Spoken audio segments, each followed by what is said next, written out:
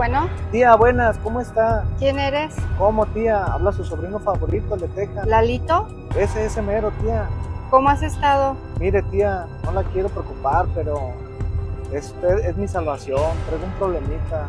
Dime, hijo, ¿en qué te puedo ayudar? ¿Estás tú bien? Si recuerda que me vine de indocumentado y me agarró la migra, y para soltarme me están pidiendo 15 mil baros, Me queda muy poco de la pensión. Pero los tengo que depositar de urgencia. ¿Y no puede disponer de algún dinerito ahorradito? Sí, sí, hijo. Sí, es poco, pero de algo te va a servir. ¿Dónde te lo deposito? La extorsión telefónica es una modalidad de delito, no caigas en ella.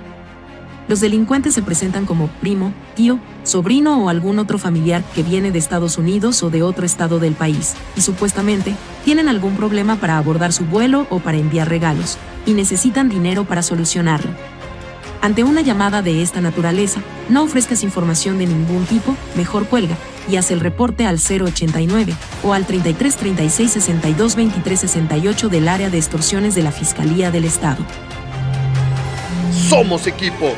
Somos Policía de Guadalajara.